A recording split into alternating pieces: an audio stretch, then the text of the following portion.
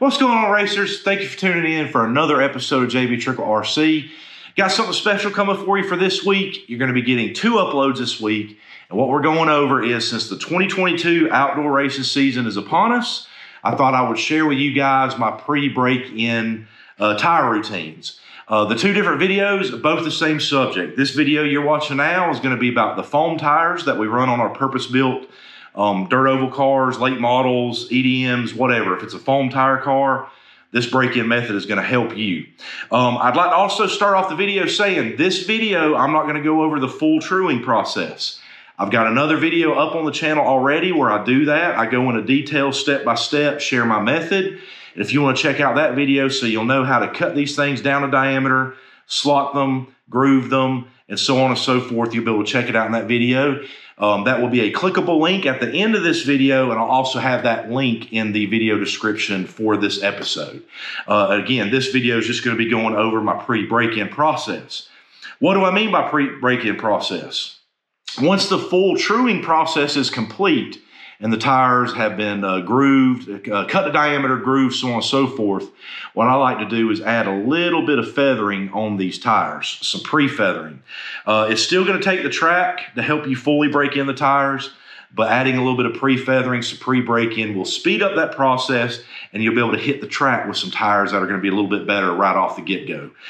Guys, before we jump into the actual pre-break-in tutorial, I do want to just say this is my method. There's more ways of doing it. There's other ways that you can accomplish a similar set, but this is my way. I want to share with you guys and hoping uh, that it'll help one of you newer foam tire racers out there somewhere.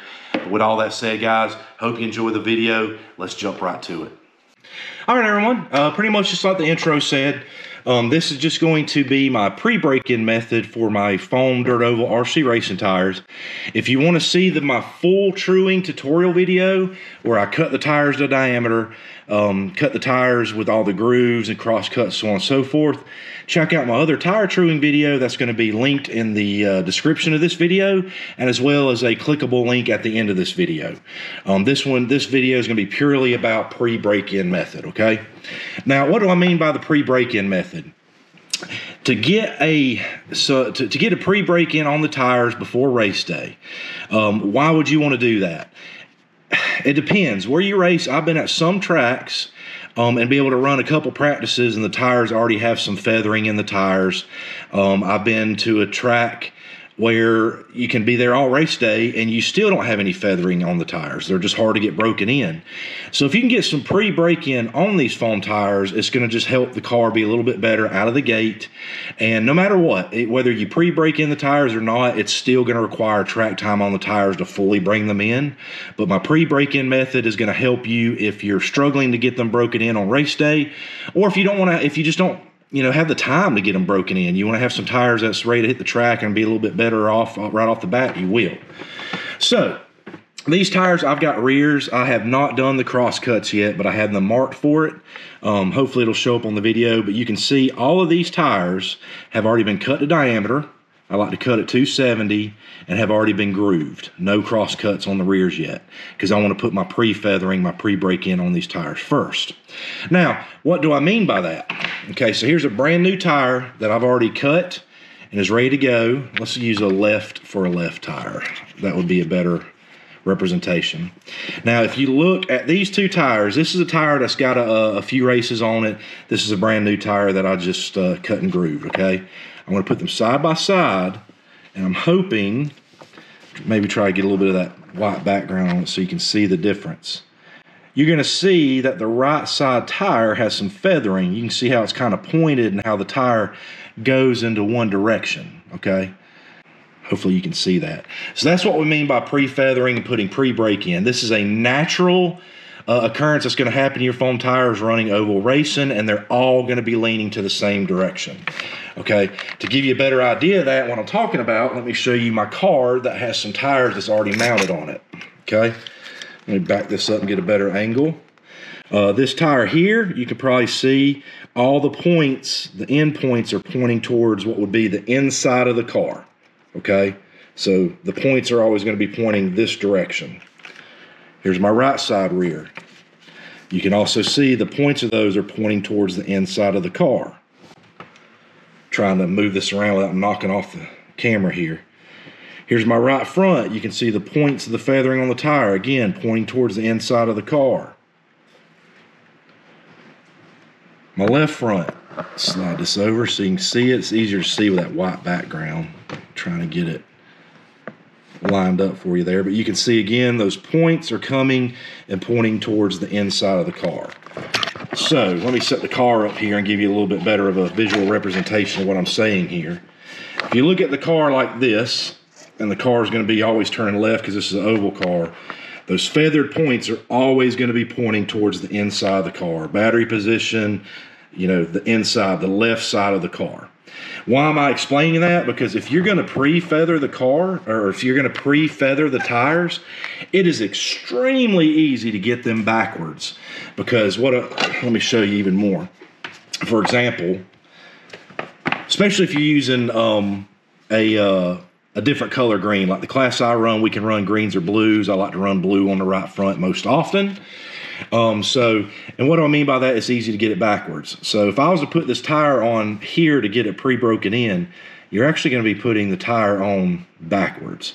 So you'd be feathering this in the opposite direction based on the way it's mounted to get the feathering in the proper direction. Because again, we want the feathering, the points on this tire to be pointing that way. So we're going to have to point it, do it this way here. That way it'll be pointing in the right direction whenever we actually take the tire off the lathe. So you do want to pay attention because if you're doing a left side, right side, again, you want to be careful of that. And that's one reason why I always go in before I do anything. Um, I don't know if the lighting is going to show that, but I've already got that marked right front, LF left front, left rear, right rear, and so on. I've already got them marked. So we're to go ahead and get this process going and I'm going to show you what to do. Now, let me go ahead and throw a major disclaimer here, guys. You're doing a pre-break in. You do not want to go too far with this. Okay, going too far, you can actually end up hurting the tire or pretty much making the tire useless.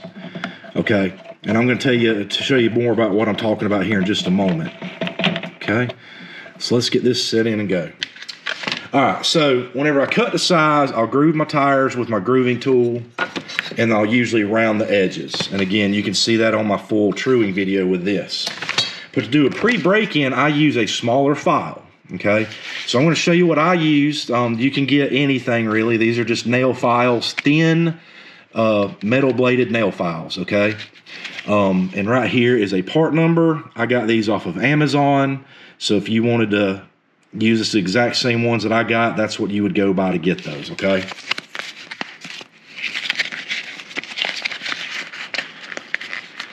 Now, I'm not going to turn on the lathe yet. I'm going to slide this a little bit closer so I got a little bit more room to work here. And still keeping it in the camera angle. So again, these are the things I want you to be careful of, okay? I'm trying to get this squared up. You do not want to go in the groove and widen it. That's not we're not going into the groove and then laying it over. We're not doing that. Okay, because if you do that, you're going to widen the groove and then you're going to cut these. Your pre-feathering's way too deep and then it is going to be useless. So don't do that. Okay, what I'm going to do is once the tire's spinning and whatever, whether I'm doing a right or left, I'm going to find the groove by looking and then I'm going to just gently lay this down at a slight angle. Okay, let me try to hold it towards you. That way you can see what I'm doing more. I'm going to find, let the edge find the groove. I'm not going to go into the groove, and then I'm going to lay that down at a slight angle. And I'm going to do that to every section. And we're just going to, all we're doing is adding some pre-feathering to get that straight edge off so the tire is going to have some more um, feathered edges like you see on this tire, okay? So again, this is a right front tire. So we want the pointed edges to be pointing towards the inside of the car. So you want it here, pointing that way. But the tire is on the lathe reversed. So I'm actually going to feather it this way. Okay?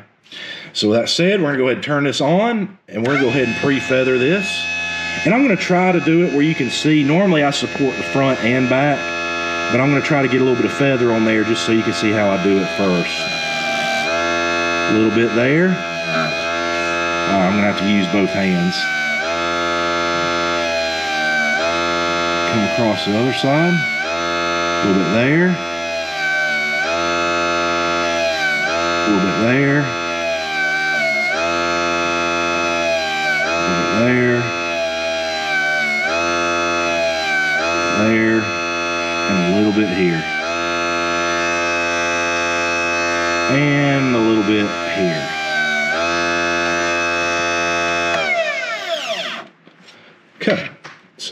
Pull this tire off.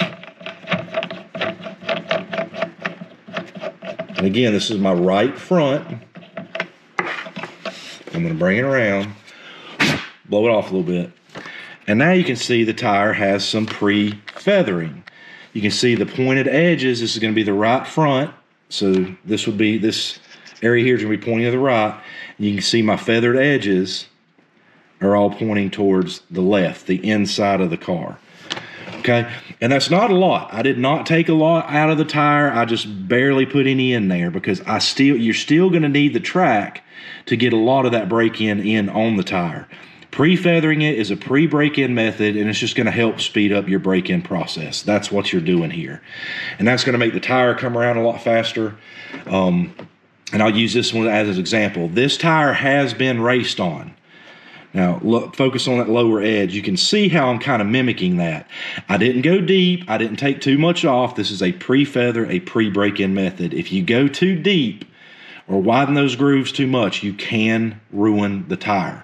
So little is a lot. That's probably the best way to put it. A little is a lot. But you can see that the feathering here. Now, granted, this right here is actually a um, uh, left side tire so they're pointing in the right direct in the same direction, but you're going to see that the point again are going to be pointing towards the inside of the car because this will be your right front, this will be your left front, and the feathering always runs the same direction. see if I can get the upper edge too. So a little is a lot, okay? So now we're going to do the left side tire.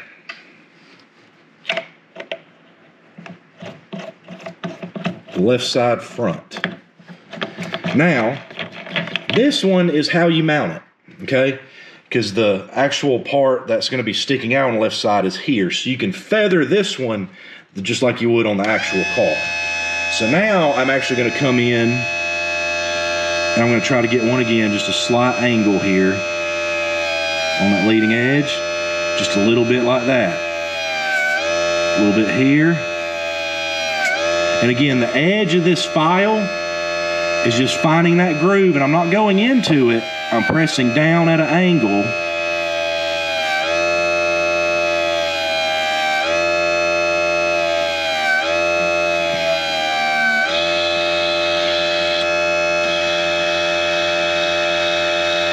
Nearly trued my tire again, but it wouldn't matter. They're already cut the size.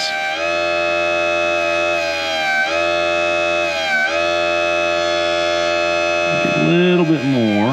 Like I said, less is more whenever you're doing this, okay? You don't want to do a lot.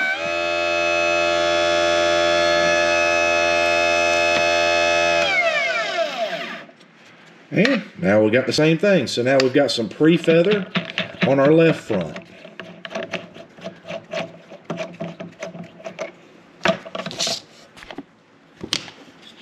Okay, you can see that the feathered sides are again pointing towards the outside or the inside, excuse me, the inside of the car, the left side of the car. Same thing. This is a this is a raced used left front. This is a pre-broken in left front. You can see it's not quite as drastic as the worn tire yet, but you can see that the pre-feathering in it is going to be running in that same direction. This is going to help the tire come in faster. And the, the rear is the same way. And I just want you to know you can do this still if you've already done your cross cuts. I don't like to do it. I like to do it before I cross cut, just for the possibility if you ended up going into the tire wrong, you poked it too hard, um, you know, there's several variables you don't i don't want to risk chunking my tire because i got cross cuts and then i'm laying something else in there um, i've done it with the cross cuts already before um, and I did it with success without that issue, but I thought about it later on saying you could be potentially asking for a chunk tire if you do that. So I like to do it beforehand. Okay. So this is the left rear.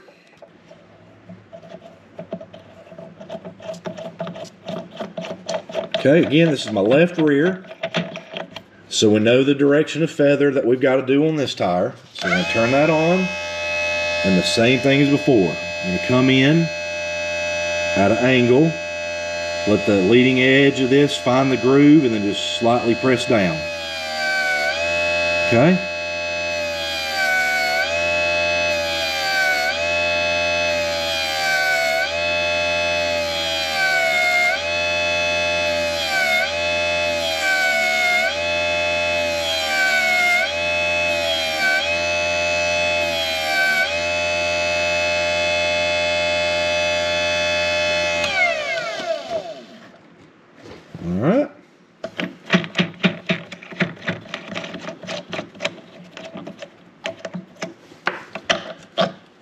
Same as before. Now we're on the rear. This is my left side tire. And you can kind of see the leading edge is going to be pointing that way, the, the tip of that. Um, and I could probably go in and add just a little bit more pre-feathering to this tire. I'm looking at it against my background over there. But I'm pretty happy with that. Like I said, I don't want to go too drastic with it. Less is more. Uh, okay, we've already said that. Um, and again, here's the right rear, and we want to do the same thing. Okay, but remember, the right rear does not mount like you would normally run it. We're actually going to be putting it on this way, so it'll be held in the jig properly. So we have to lay the file opposite of the way it should actually lay. So again, this is the right tire. You would normally do it, get some of that off so you can see better. We'd normally lay it on like this, but we're actually going to be laying it on like this. So the tips of the feathering will be pointing in the correct direction because this is a right rear. The left side, you can do it the right way. The right side, you have to do it reverse because or else you're going to have it backwards, your feathering. So you don't want to do that. All right, so just like before, we're going to find that leading edge. And then we're going to go in and press down. Okay? Get a little bit here here. I've got to use both hands. I tried to move it for the sake of the camera for you a little bit too, but you got to get in there with both hands and kind of guide that in too.